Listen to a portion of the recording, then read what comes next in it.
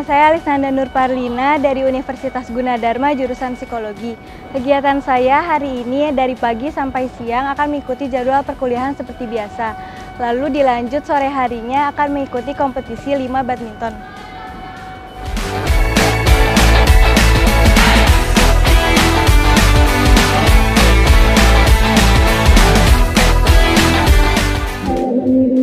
Psikologi karena dari dulunya suka dicurhatin oleh teman. Jadi pengen rasanya tuh pengen ngasih saran yang terbaik buat mereka. Terus cita-cita kebetulan juga mau jadi psikolog. Karena zaman sekarang tuh banyak banget kasus yang berhubungan dengan uh, psikis psikologi gitu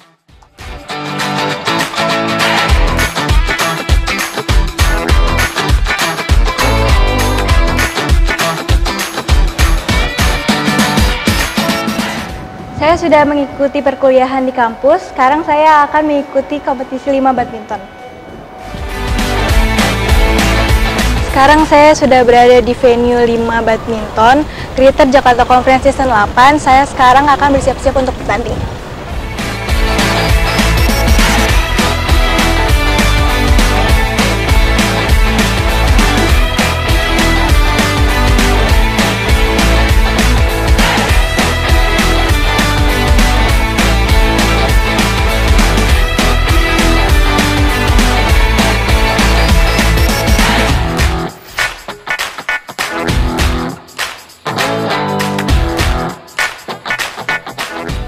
Menjadi student atlet itu sulit sih, soalnya kita harus dituntut bisa olahraga, bisa akademik juga.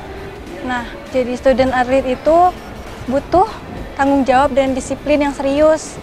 Tapi walaupun sulit, kita tuh e, merasa senang karena di kedua bidang tersebut tuh bisa berguna di masa depan. Jadi kita bisa dapat soft skillnya, terus akademiknya juga dapat.